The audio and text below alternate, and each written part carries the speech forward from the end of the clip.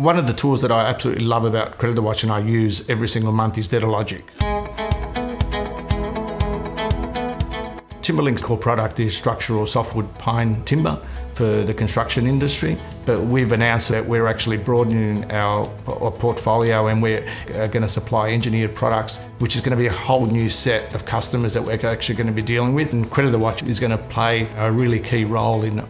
I found Creditor Watch's platform to be by far the easiest to navigate. One of the tools that I absolutely love about Creditor Watch and I use every single month is Debtor Logic. Every single month, uh, we wash our data, we get our risk profiles. That enables us to automatically review every single customer every single month and keep a record of what's changing, what's shifting, and who are they and why, and really delve into it. It's so easy now to do your reviews that I absolutely love it. When we considered our first price increase, we were assigned with the project of reviewing all our customers all at once. You know, building a template and overlaying it with our own industry knowledge and then applying the Debtor Logic scores to it.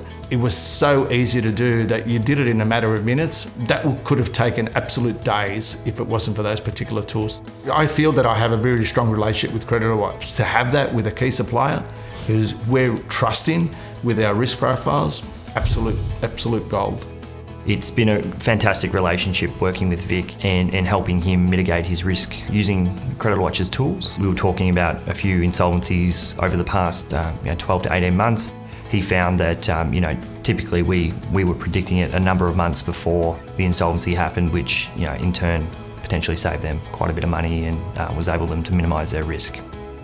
This company has got such an incredible trajectory. Can't wait to see what the next steps bring and how actually Creditor Watch can help us manage that um, part of our portfolio as well.